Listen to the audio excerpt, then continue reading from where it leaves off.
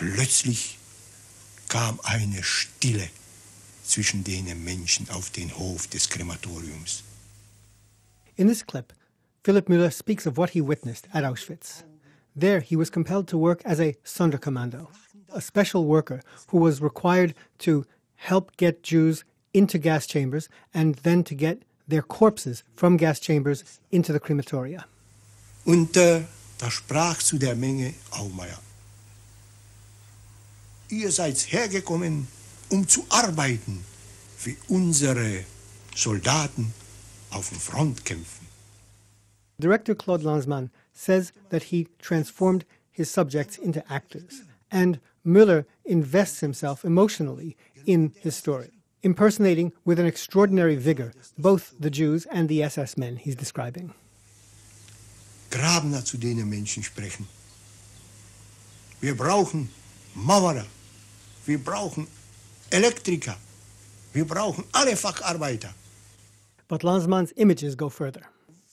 He had his cameraman film Auschwitz, first from the perspective of the roof from which the SS men were speaking, and then from down below in the courtyard, looking up toward the roof and the chimney.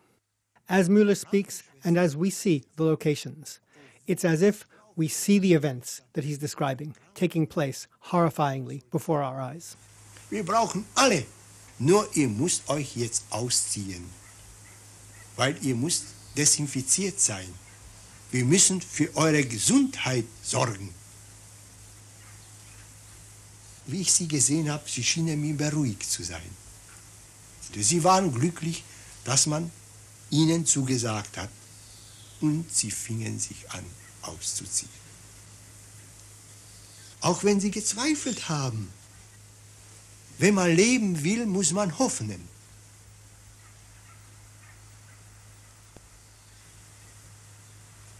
Auf den Hof waren die Kleider geblieben. Überall. So zerstreut.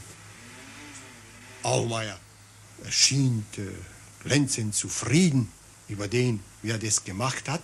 Und er hat sich gewandt auf einige SS-Führer und hat denen gesagt, seht ihr, so muss man es machen.